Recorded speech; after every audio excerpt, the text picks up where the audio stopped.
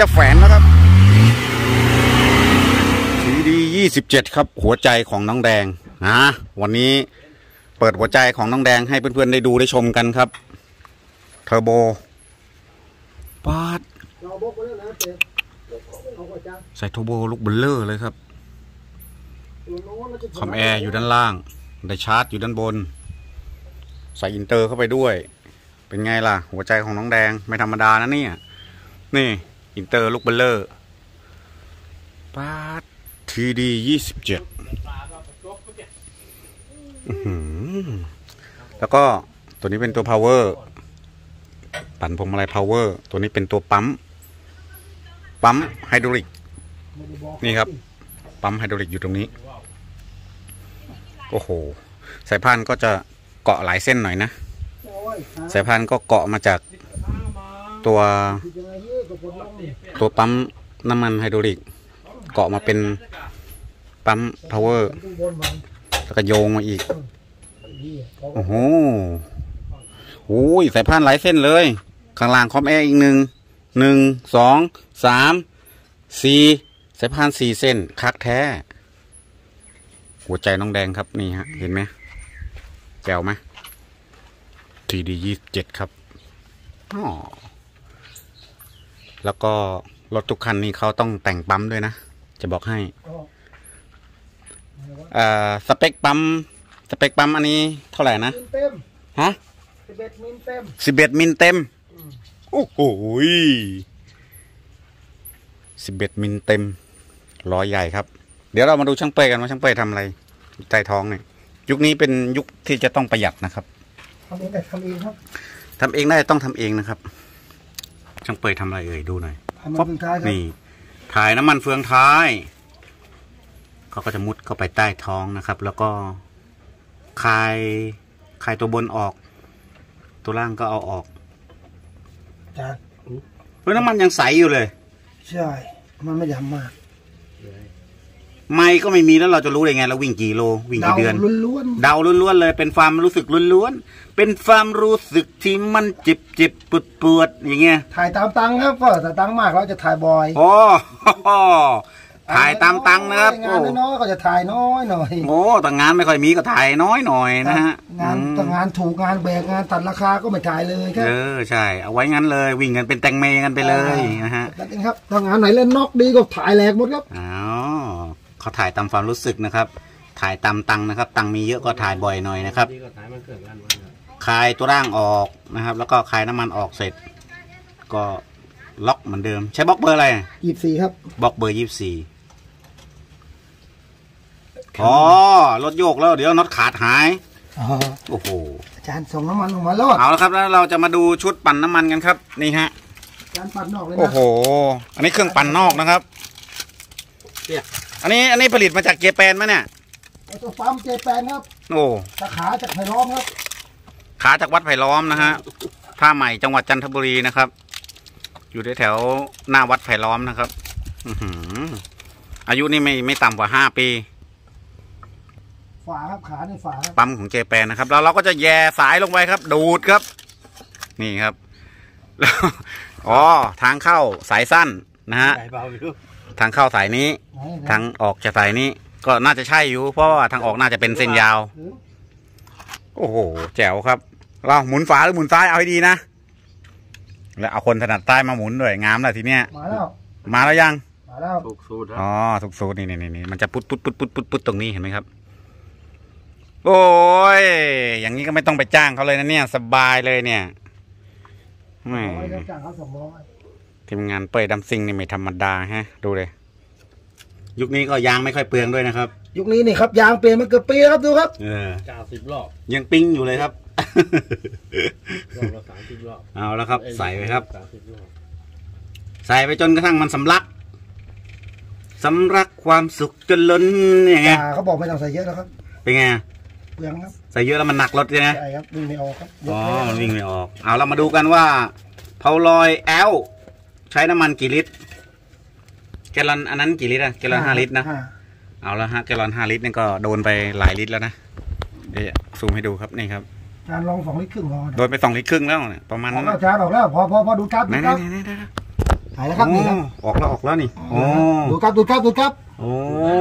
ลงพูดอะพี่โอ้ยขนาดเผาลอยยังสองลิตรครึ่งรถพี่ก็ไม่ถึงหรอกเป๋ยเอ้ยสบายแล้วก็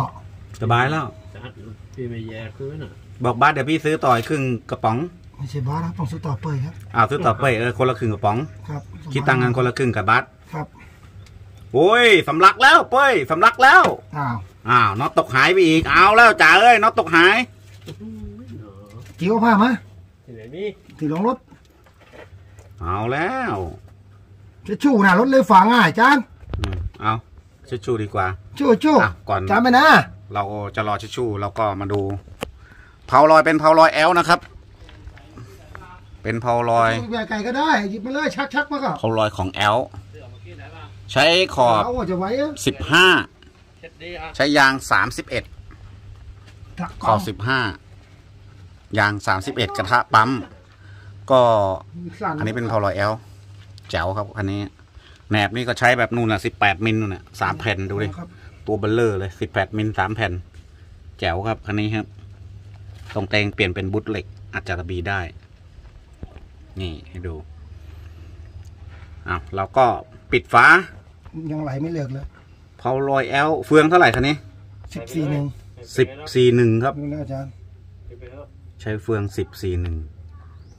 ใครเคยเห็นน้องแดงดิ้นบ้าง น้องแดงนี่ดิ้นสุดยอดเลยนะ ฟืดฟืดโดยเฉพาะต้องเปลี่ยนคนขับด้วยนะ ถ้าเจ้าของขับไม่ค่อยดิ้นนะครับ เดี๋ยวเครื่องเจ็บ ต้องให้น้องโต๊ดขับนะครับน้องโต๊ดขับถึงจะดิ้นเร้าใจดีฮะ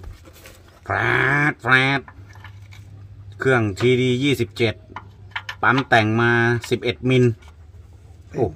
สิบเอ็ดมิลเต็ม อะมันมีสิบเอ็ดพี่ยังงงว่าไอ้สิบเอ็ดมิลมันแปลว่าอะไรเดี๋ยวผมเอาให้ดูรอแป๊บเหรอผมมีลูกปั๊มวันเนี้ยอ๋อคือคำว่าสิบเอ็ดมิลนี่คือคนที่แต่งเขารู้กันใช่ไหมเดี๋ยวผมหยิบให้ดูอ๋อเหรออยากรู้เหมือนกันผมมีลูกปั๊มสิบเอ็ดมิลนี่มันคืออะไร คือเบอร์ เบอร์ลูกปั๊มอืมมีตั้งแต่เก้ามิลน่ะอ๋อเฮ้ย ก็เอาไปรอจะไว้จัจะดเลยลำจะลำบากหน่อยนะครับนะฮะนั่นเอาแล้วไปเอาไปรอด ถอยหลังนี่โอ้โหน้องแดงเราครับ วันนี้จอดอยู่ครับ ก็ ไม่ถอยมาตรงๆอะตอนนี้พักงานอยู่ ให้ดูหัวใจอีกครั้งหนึ่งหัวใจน้องแดงหึสุดยอด กว่าจะมาเป็นดัมซิ่งได้นี่ ไม่ธรรมดานะจะบอกให้ แสนกว่านะครับนะฮะแต่งมานี่ไม่แพ้รถคอกเลยนะผมว่านะฮะเพอเพอแต่งแพงกว่ารถคอกเองฮะเพราะรถดำในส่วนใหญ่นะฮะอันดับแรกเลยนะ เครื่องเนี่ยนะครับ ก็จะใช้เครื่องเดิมติดรถมาก่อน วิ่งกันจนแบบว่าหลับเมื่อไหร่นั่นแหละคือหลับไม่ใช่คนขับหลับนะเครื่องหลับนะครับ คือถ้าเครื่องหลับเมื่อไหร่เขาก็เปลี่ยนเครื่องใหม่นะครับ ก็เอ่อทำการแจ้งให้ถูกต้องเปลี่ยนเครื่องใหม่แล้วก็สามารถที่จะ คนไทยเดี๋ยวนี้ยอมรับว่าเก่งมากนะครับนำมาเกาะเทอร์โบได้เนี่ยเอาอินตรงอินเตอร์ใส่ได้เหมือนรถรุ่นใหม่เป็นเหมือนคอมมันเร็วไปเลยนะครับ เห็นไหมเกาะอินตรงอินเตอร์เข้าไปสุดจัดไหมเห็นไหมเครื่อง TD ยี่สิบเจ็ดเป็นไงอะโอ้โห ต้องบอกว่าสุดเลยแล้วดูหน้ากากนิสสันรุ่นไหนเนี่ยฮะเห็นไหมรถรุ่นเก่าก็สามารถที่จะเอาเครื่อง ที่เป็นรุ่นใหม่กว่าเอามาใส่ได้นะครับ อ่า แจ๋วมากเลยนะ ต้องบอกว่าสุดจริง ๆ ใส่ล้อใหญ่ครับนะฮะข้างหน้าก็เป็นล้อสิบห้าแต่ข้างหน้าส่วนใหญ่จะใส่ยางแค่สามสิบนะครับนี่ครับใช้เบอร์ยางแค่สามสิบนะ ข้างหลังจะใช้สามเอ็ดยางลิ้นหลง ท่อเป็นท่อฮะชนบุรีนะครับปลายท่อประมาณ2,000บาท เสียงจะดังแผลดๆเหมือนหกล้อเลยนะฮะ อ่าโอเคเอาครับ วันนี้ก็พาเพื่อนๆมาชมรถน้องแดงกันหน่อยนะฮะเซอร์วิสกันนิดนึงนะครับปั๊มอยู่นี่เอาเราจะมาดูกันว่าไอ้คำว่า 11 มิลคืออะไร อันเนี้ยสิบเอ็ดมิลแล้วเวลาเขาแต่งแต่งยังไงแต่ง 11 มิลเนี่ยคือเปลี่ยนตัวมันตัวนี้เดียวต้องให้โครงอีกสองโจ้ก่อนสักครู่เอ้าเหรอต้องใช้ไขควงต่ออีกไหมอะโอเค เดี๋ยวเราจะมาดูกันนะฮะผมก็งงกับคำว่าแต่ง 11 มิลเต็มอย่างเงี้ยคือมันมัน 11 มิลยังไงเขาทำตรงไหนคื ออันนี้เราไม่มีความรู้นะฮะ เราก็จะมาถ่ายให้เพื่อนๆได้ดูได้ชมกันนะ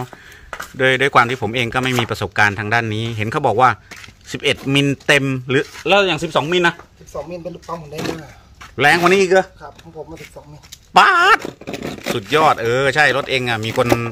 มีคนที่จะให้รีวิวอยู่ ขอดูหัวใจของ Frontier หน่อยเขาว่าอย่างนั้นนะลองดู Frontierลั่นเหลือเกินอะโอ้โหออกคลิปนั้นเนี่ยคนดูทั้งสองเท่าไหร่ว่าสองล้านกว่า รถคนแก่ครับโอ้โหรถก็เก่าคนก็แก่ครับคนกดไลค์สองหมื่นกว่านะคนเข้ามาชมอยู่สองล้านกว่าโอ้โหถามเลยอะหัวใจ Frontier เป็นยังไงอะอยากรู้เหลือเกินอะโอ้โหยเสียงมันลั่นดีเหลือเกิน ลากได้สุดดีเหลือเกินผมก็ไม่ใช่ช่างปั๊มยังยังยังมีอีกคันนะครับนะฮะที่ยังยังซุ่มอยู่นะครับ Mighty ครับนะฮะ Mighty ซุ่มอยู่นะฮะได้ข่าวว่าสองวันก่อนไป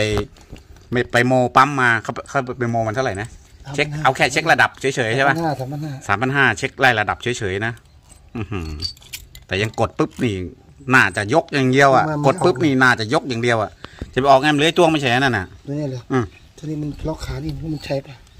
ลองดูน็อตน็อตมันต้องยาวไอ้หกเหลี่ยมใช่ มันต้องยาวลงไปลองดูลองดูเพราะขังนี้มันมีอะขังนี้มันก็ต้องมีแล้วก็รู้ลองลองอันนี้มันเป็นปั๊มของอะไรอะปั๊มคือดีครับปั๊มเดิมทีดีแท้เป็นไฟฟ้าครับ QD แท้เป็นไฟฟ้า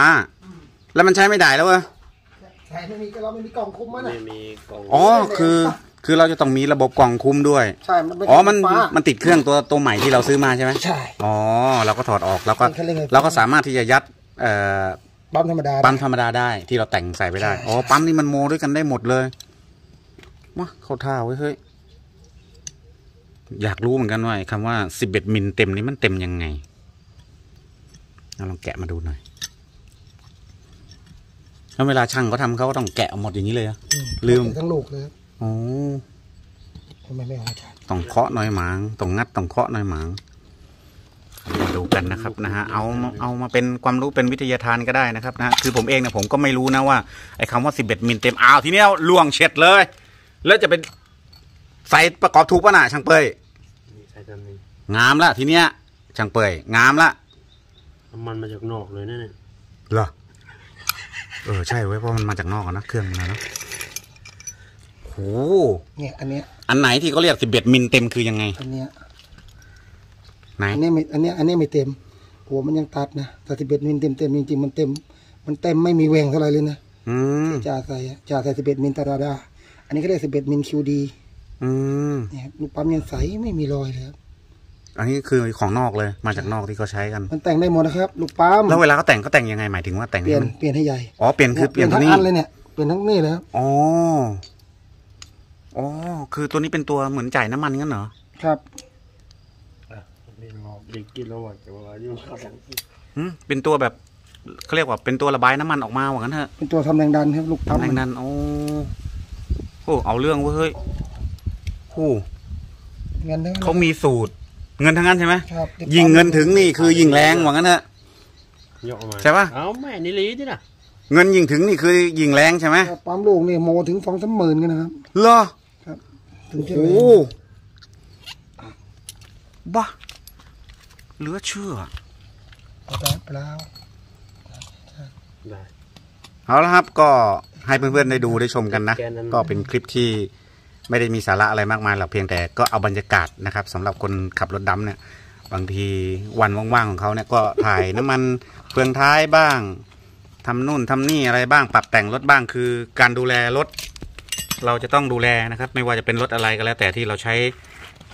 วิ่งงานหาเงินอย่างเงี้ย เราก็จะต้องหมั่นดูแลเขาด้วยนะครับ ก็ถ่ายน้ำมันเฟืองท้ายให้ดีน้ำมันเกียร์ให้ดี เราสามารถถ่ายเองได้ก็ถ่ายเองนะครับ ช่วยช่วยประหยัดด้วย แต่ที่แน่ๆช่างเป้ยใส่ไม่ได้แล้วครับเอาถุงห่อห่อๆใส่เลยแล้วก็มัดรวมกันไปเลย อันนี้คือยางหลีหลงนะครับยางใครเนี่ยยางใครยางใครยางของช่างเป้ยนะครับ ช่างเป้ยสั่งมานะครับ ช่างเป้ยสั่งล้อสิบหกมา นี่ยางสิบหกยางหลินหลงสองสี่ห้าเจ็ดห้าขอบสิบหกเอาแล้วสองหกห้าคือล้อใหญ่เหรอล้อหลังเหรอไม่เออเออรถไปถึงรถใครครับแล้วมีมีบางคันก็ใส่สองหกห้าป่ะใช่รถฮิมิตรถฮิตีพวกเนี้สองหกห้า โอ้อันนั้นก็ใช้ยางใหญ่กว่านี้อีกครับ โอ้พลังก็เหลือดิพลังเราได้แค่นี้ใช่ไหมใช่ครับโอ้ยดูดิ อันนี้สองสี่ห้าเจ็ดห้าขอสิบหกนะครับนะฮะ ของช่างเปยจะใส่แค่สองสี่ห้าขอสิบหกแล้วก็ส่วนตรงนี้นะครับ ก็จะมีกระทะมาจากชนบุรี อันนี้ก็ใครที่จะสั่งกระทะเป็นขอบสิบหกนะครับ ไม่ว่าจะกว้างเจ็ดนิ้ว หรือเป็นกว้างแปดนิ้วครึ่งได้หมดเลยนะครับ อยู่ในนี้นะครับก็นี่อันนี้ก็คือชิ้นส่วนอีกหนึ่งชิ้น โอ้โหอะไรเพียบครับที่ บ้านช่างเป้ยนี่ต้องบอกว่าอะไรเพียบ อันนี้เป็นเฟือง พร้อมจานใบสี ดอกจอกเท่าไหร่เอ่ยดอกจอกเก้าครับ ดอกจอกเก้าไอ้เนี่ยใบสีอะสี่หนึ่งครับสี่สิบเอ็ดเก้าสี่หนึ่งจะเอามาใส่คันไหนเนี่ยเป็นขาวเปลี่ยนเปลี่ยนเปลี่ยนนี้โอ้โหยลงเครื่องใหม่แล้ว เฟืองไม่ได้ต้องมาไล่เฟืองอีกครับ แรงจัดครับนะฮะ เดี๋ยว เฟืองนี้จะไปใส่รถคันไหนเดี๋ยวผมจะถ่ายให้ชมนะนะครับรถดำเนี่ยนะฮะไม่ใช่ว่าอยู่ๆมันจะวิ่งดีอย่างที่คุณเห็นกันในคลิปนะครับ ไม่ใช่นะครับนะฮะไม่ใช่อยู่ๆจับรถเดิมๆเอามาวิ่งแบบนั้นไม่ได้นะครับนะฮะเปิดหมดครับคือระเบิดหมดใช่ไหมคือมันสู้ไม่ไหวรถเดิมๆนะครับ ที่คุณเห็นอยู่ในคลิปที่ผมถ่ายให้เพื่อนๆได้ดูได้ชมกันเนี่ย ผมต้องบอกก่อนว่ารถทุกคันเขาปรับแต่งมาอย่างดีนะครับพละกำลังต้องดี นะครับ ชิ้นส่วนทุกชิ้นส่วนคือต้องดีนะครับ ไม่ว่าจะเป็นปั๊มเอ่ยเป็นรถเอ่ยเป็นยางเอ่ยอะไรต่างๆนานาพูดง่ายๆว่าฝาจะได้คันหนึ่งให้เป็นแบบนี้ได้เนี่ย ต้องบอกว่านะไม่ธรรมดานะ หมดหมดหมดเยอะอยู่เหมือนกันนะ จะบอกให้นะครับ คันนี้คุณเคยเห็นละนะฮะออกคลิปมาในเสียงลั่นเลยว้านนะเสียงอย่างนี้เลยนะฮะ ดี๋ยวมีโอกาสเดี๋ยวจะรีวิวหัวใจของคันนี้ให้ดูครับนะฮะวันนี้เอาหัวใจของน้องแดงมาให้ดูก่อน รอติดตามชมนะครับ bye bye รักนะ จุ๊บจุ๊บ bye bye ครับ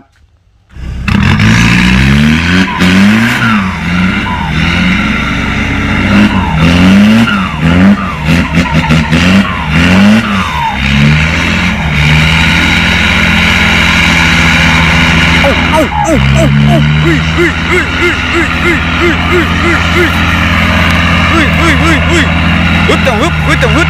ฮึดจังฮึดโอ้โหกว่าจะขึ้นได้นะครับ เอาน้องเป้ยก็ค่อยๆย่องเลยครับ ค่อยๆย่องครับ ค่อยๆย่อง เอาเอาเอาครับ เอาครับ โอ้โห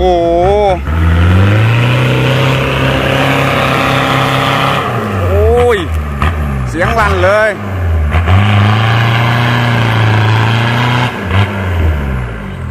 เสียงลั่นเลยครับ